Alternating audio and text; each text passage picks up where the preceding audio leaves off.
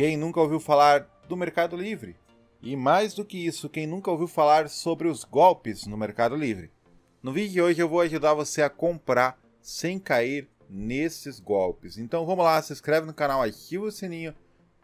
Valeu pelo apoio de sempre, galera. Não deixe de acompanhar o canal. E vamos começar aqui falando então sobre produtos no Mercado Livre. É, quais são os cuidados que eu devo tomar na hora de comprar pelo Mercado Livre? Primeira questão, eu tenho que entender como que o Mercado Livre funciona, tá? É, quando o vendedor coloca um produto aqui, ele paga uma parte para o Mercado Livre. Mas ele não está pagando apenas pela propaganda, né? Ele está pagando pelos serviços do Mercado Livre. Um dos serviços do Mercado Livre é garantir a venda, ou seja, o Mercado Livre ele é um mediador. É, quando você compra um produto, o Mercado Livre ele só vai entregar o dinheiro ao vendedor depois que você falou: Mercado Livre, recebi o meu produto, está tudo certo. Então, quando você paga a taxa, você não está só pagando é, um dinheiro obsoleto aí que você talvez se vendesse por, por fora ou comprasse por fora, você não perderia, né? Muita gente pensa, ah, essa taxa eu tenho que eliminar ela.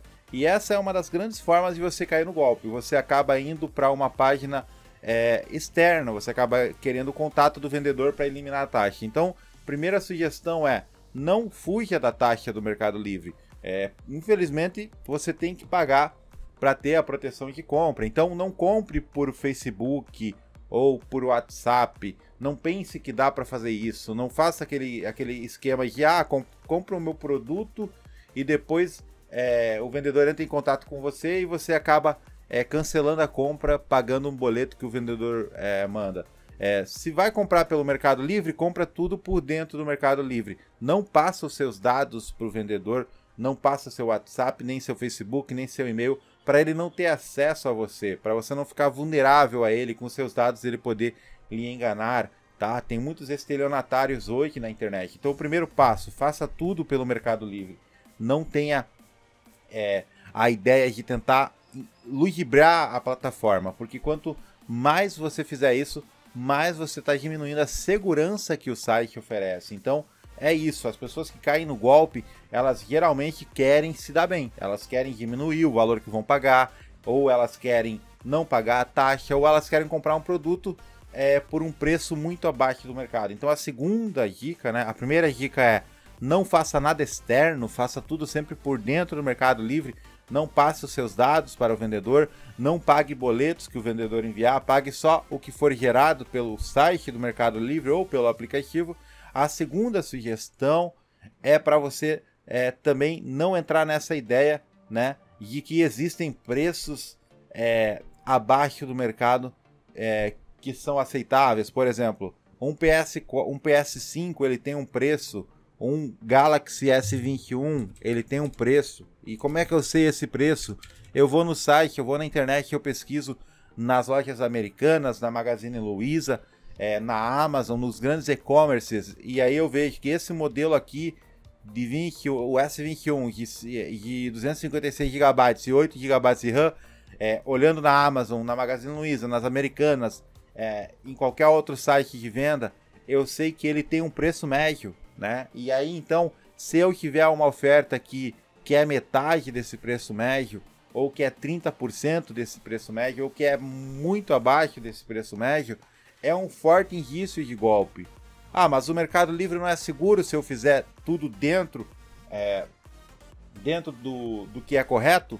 É seguro. Se você pagar pelo Mercado Livre, por mais que você caia num golpe, você consegue recuperar o seu dinheiro.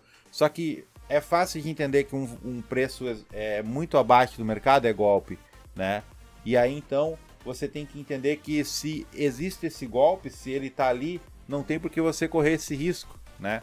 Porque ele vai tentar explorar alguma vulnerabilidade sua. Talvez ele peça para você mandar algum dado ou para você pagar algum boleto, ou ele tente roubar a sua conta. Então nunca faça essas coisas. Nunca leve longe demais isso, né? É, não forneça dados. É, se você, por exemplo, é, vê o vendedor pedindo algum código de SMS, não faça isso, só denuncie para o Mercado Livre. Então fique esperto, tá? Fique esperto, porque as pessoas elas acabam se deixando levar e acaba perdendo dinheiro, que é importante. Então o produto tem um preço médio e aí o vendedor que quer roubar o seu dinheiro, alguns estelionatários, né, que não, não vou chamar de vendedor, né, vamos chamar de estelionatários, que são algumas pessoas mal intencionadas que roubam no Mercado Livre. Essas pessoas, elas não querem, é, é, elas não querem o seu bem. Então, elas vão lhe enganar. E aí você vai, vai ouvir histórias como, ah, é que a gente compra direto do vendedor, então eu consigo vender esse, esse celular aqui com o Mercado Livre, a loja oficial do Mercado Livre vende por 4.800, eu consigo vender por 2.000, porque eu compro direto da Samsung, do vendedor. Aí então, é, você só cai nessa história, né, de que algum site consegue vender pela metade do preço ou por baixo da metade do preço, né? Se você for ingênuo, se você tiver muita ambição. Porque pensa comigo, né? Se Americanas compram, se Americanas não conseguem comprar um celular para vender por 2 mil, né? Você acha que o, a Amazon, a Magazine Luiza não compram direto do fornecedor? Eles têm os fornecedores, os melhores fornecedores do mundo, né? São as lojas mais fortes do Brasil, Americanas, Magazine Luiza, Amazon, Carrefour, é, tem vários sites aí, né? São os melhores hoje do, do, do, mundo, né? Os melhores do Brasil, a Amazon é uma das melhores do mundo. Esses caras não, não vendem direto, não, não compram direto do fornecedor. É o Zezinho, não sei das quantas, que, que tem três vendas no Mercado Livre, nenhuma avaliação. Ele que, ele que vende, ele que compra direto do vendedor. Então, às vezes, é só a gente raciocinar, né? Porque a, é grande parte, assim, a grande parte das pessoas que caem no golpe falam: ah, o Mercado Livre não é seguro, né? Mas é muito seguro, tá? E para cair num golpe aqui, você tem que descumprir todas as etapas de segurança. Você tem que passar dados para o vendedor, ele tem que enganar, aí ou ele rouba sua conta, ou ele faz você pagar um boleto que é falsificado por fora, né? Mas para isso acontecer é só se você for ambicioso, se você acreditar em, em, em histórias inacreditáveis, se você realmente é, cresceu o olho demais. Infelizmente é isso. É, na hora de comprar, você tem que entender que o produto tem um preço e se você não tem aquele dinheiro agora, né? É, isso já aconteceu comigo e eu não tenho dinheiro e eu vi algumas ofertas que eu sabia que eram falsas, mas não me iludi. Juntar, trabalhar, guardar o dinheiro para com o tempo, né? Você conseguir. É, sai mais, muito mais caro você perder o seu dinheiro. É, infelizmente, as coisas são caras, né? Mas não deixe se enganar. Também não se iluda, tá? O preço real o produto tem um preço real. Então, esses são os golpes aí mais comuns, né? O vendedor ele tenta acesso aos seus dados, ele tenta levar você para fora da plataforma, ele tenta fazer você pagar um boleto, ele tenta fazer você cancelar a sua compra por dentro do Mercado Livre e prosseguir por fora. Ele tenta fingir que deu algum problema na sua compra e mandar um boleto como se fosse do Mercado Pago para você pagar. E tudo isso é, tem boletos do Mercado Pago que, eles, que ele gera falsificado que não são do Mercado Pago. E como é que eu evito isso? Sempre fazendo tudo por dentro da plataforma. Então, eu espero que esse vídeo te ajude, tá? Que esse vídeo te oriente de alguma forma para você não cair no golpe.